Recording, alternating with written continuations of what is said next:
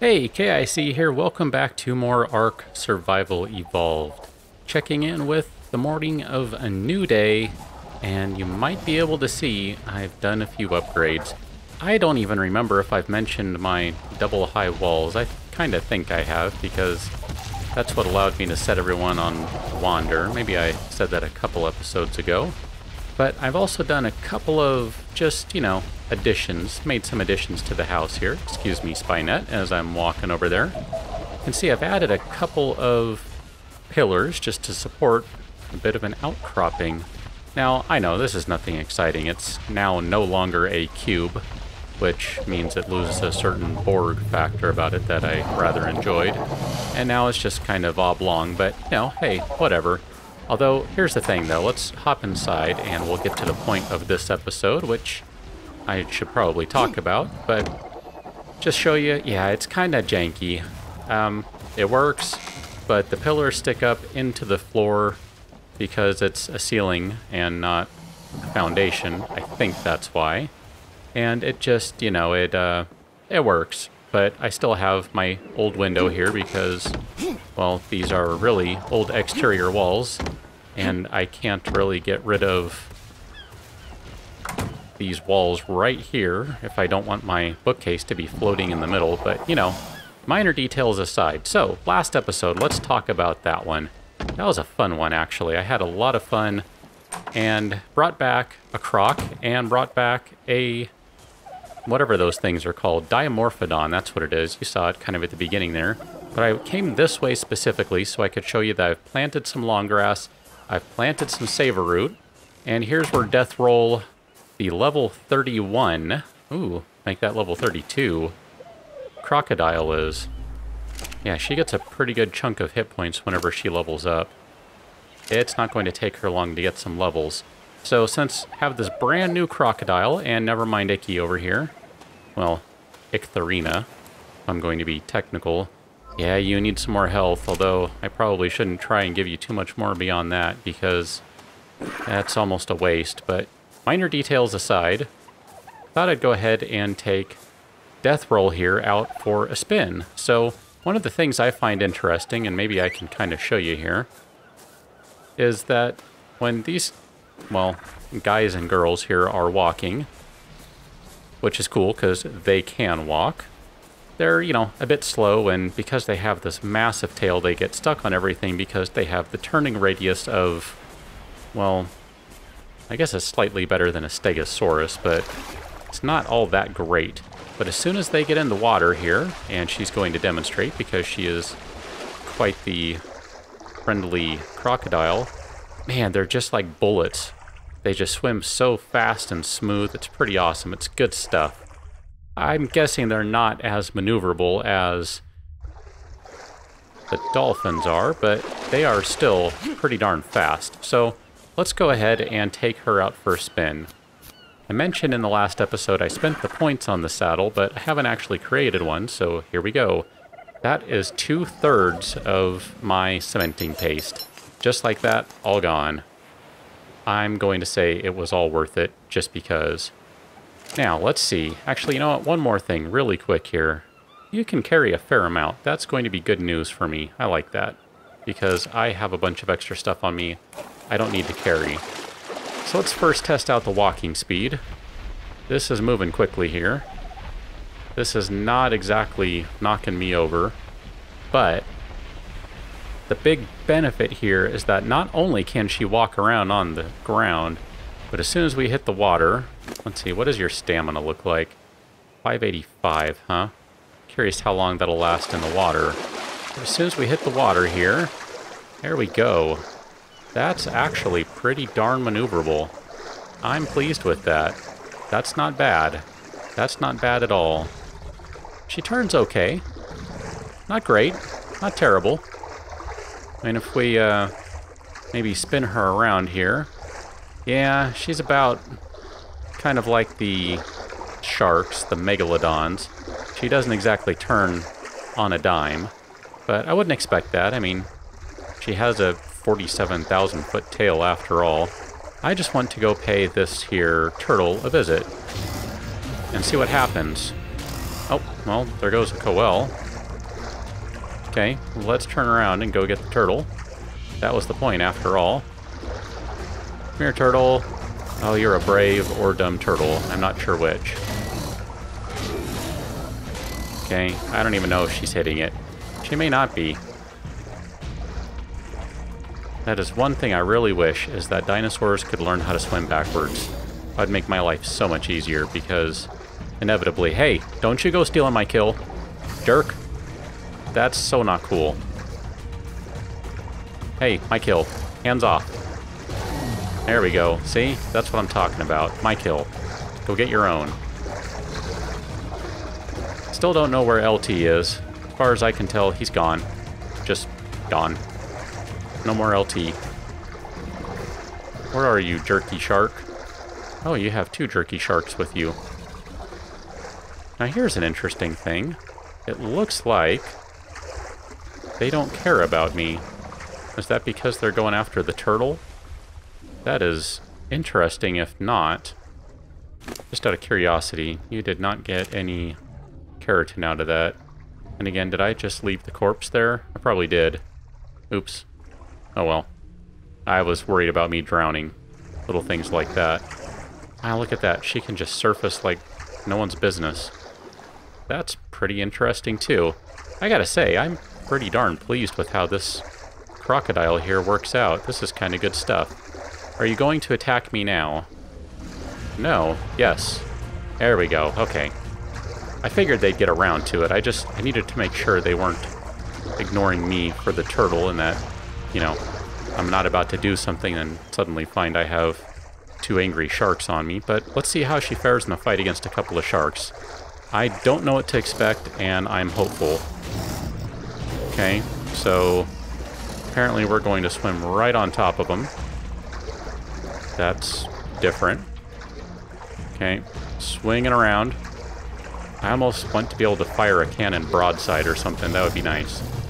Give me a, you know, let me fire my rifle or something underwater, crossbow. Since I guess firing a rifle underwater really wouldn't make sense. But, you know, crossbow, it is designed to shoot underwater. Would be nice if I could shoot it from the back of my crocodile here. I don't see why his feet couldn't be strapped in and, you know, pull out the crossbow and take some pot shots. Maybe I should let her fight on her own, huh? Because I'm doing a terrible job. She's not really taking much damage, but I can't tell if they are. I mean, part of the problem is there's two of them, and there's only one of me. Come on, take one into a death roll. Do it. Yeah, see, she just, like, jumps over the top of them. That is weird. I wasn't trying to do that, and in fact, I was just trying to move. Well, I don't even know if I was moving right there. I might not have been. That's kind of funky. Wow. I am a little hesitant to let her go on her own, because at least when I'm driving her, poor a driver as I may be, I'm giving her a chance to regenerate some health. A little bit. There we go. That got her one. Let's just go ahead and... No. I'm ready for level. Not her. Got it. Yep, fine. We can do this. Alright. So let's swing back around here. We need a little more room, apparently. Don't want to leave that croc just... No, croc. Shark. Don't want to leave that croc... Shark. Wow, I can't even say the right thing. I don't want to leave that shark corpse just lying around. Would like to take care of that. Okay, come on. There we go. Added a whole bunch of stuff. And let's go ahead and... She can get a level now. I'm going to go ahead and go straight for some melee. Even though she's not quite where I want her to be for hit points. Just because I think this might be a good idea when it comes time to harvesting. Go ahead and let her have a little extra stomping power, so to speak. Oh, hi, Mega Piranha. Okay. Well, Mega Piranha wants to do this. I kind of think that'd be easier for me to take care of, so... You know, let's go ahead and hop off and I'll get my handy-dandy pike out. Come here. Come here, Mr. Piranha, or Mrs. Piranha, whichever you are. That's what I thought. Oh. Actually, you know what? Where are you going? Are you taking care of that other body for me? Because, nope, you're not. Well, here, let's go do that, because I need to see what all you got anyway. So swing her around one more time, and then I'm going to do one last test with her. So far, I'm pretty pleased. Not the most maneuverable thing, which I wasn't expecting, but surprisingly maneuverable in the water. More so than I would have guessed. Chomping away.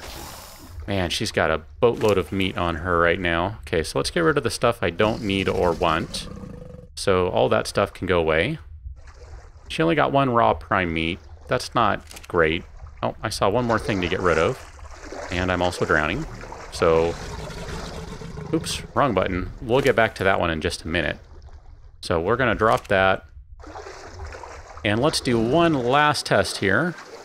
Assuming I can not get her stuck on the reef. No? Ah, crud. Did I get her stuck on the reef? I hope not. There we go. Ooh, that was close. I think trike was in the way. I think that was the problem. So I'm going to try one more thing really quick here, and that is dive. Dive, dive, dive. Oh, this is not very quick. Yeah, you are... You do move around pretty well, but you don't exactly dive quickly. So I don't even know that I'm going to be able to get to the bottom of the ocean here without drowning. Which is why I'm working on the long, long grass and savoroot, actually. In case you don't know, the reason I'm looking at those two specifically, the reason I planted those, is because those will allow me to make Lazarus chowder, which lets you breathe a little longer underwater. I've obviously struggled to get to the bottom, and as we can see right now, she's not going to make it underwater before I die, so that might not be a bad idea to go ahead and load up on Lazarus chowder. Now I'm just going to take one quick look over here for some trilobites. In fact, here actually, I know of a spot where I found them last time. Went a little further out, and we'll see if they're over there, because I'm not seeing any around here. Gotta say, it is really nice being able to go through these shallow areas. Granted, the dolphins can do this pretty well, but I can just hop right out of the water just like that, and boom, I'm actually good to go. That is fantastic. But this is where I was last time, kind of right over in here. See if I can get there quickly. I'm trying. I promise you I'm trying. Do see, pretty sure that is a shark over here. A couple of them even. Just cut across, sort of, slowly cut across. Aha, there we go. So there's some trilobites. So let's go ahead and take care of them and see if this is indeed a good way to harvest them. Oh, I guess I need to spin around now. Got a bunch of dolphins around me. Okay. You guys. No getting away. Oh man, these things... Yeah. She doesn't exactly turn on a dime. And now all the trilobites are getting away. But I do have a bunch of sharks chasing me. That's exciting. Oh no, those are ichthyes. Ah, phew, good. I thought they were sharks. Oh man, really? And I couldn't even harvest it before it ran away. Come on, you can get it. Get it before it goes away. Sort of getting it. Kind of. Okay, she got it. Good.